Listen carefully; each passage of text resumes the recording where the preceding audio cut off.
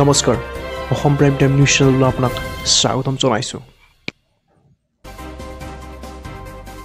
আৰু এইবাৰ আন্তৰ্জাতিক ড্ৰাগছ বিৰোধী দিৱসৰ দিনাই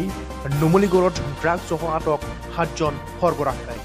আন্তৰ্জাতিক ড্ৰাগছ বিৰোধী দিৱসৰ দিনাই বোকাহাট আৰক্ষীৰ সাফল্য। নুমলীগড়ত গাঞ্জা আৰু ড্ৰাগছৰ সৈতে হাতেলোতে ধৰা পৰে ড্ৰাগছ সৰবৰাহকাৰী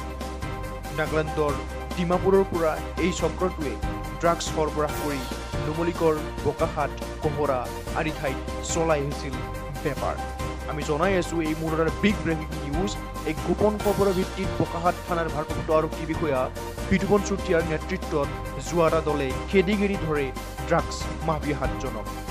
ড্ৰাগছ মাফিয়াকেইটাৰ নাম ক্ৰমে আকবৰ আলী আছিক আলী আলম আলী দীপক ৰাজবংশী পবিত্ৰ হাজৰিকা বিপুল কছাৰী আৰু জমিৰুল আলী বুলি আৰক্ষীয়ে প্ৰকাশ কৰে।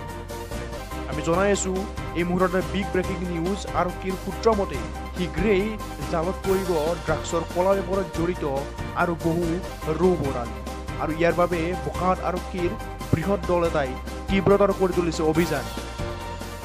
আৰু এইবাৰ বোকাহাট আৰক্ষীৰ বৃহৎ সাফল্য আমি জনাই আছোঁ এই মুহূৰ্তত অসম প্ৰাইম টাইমৰ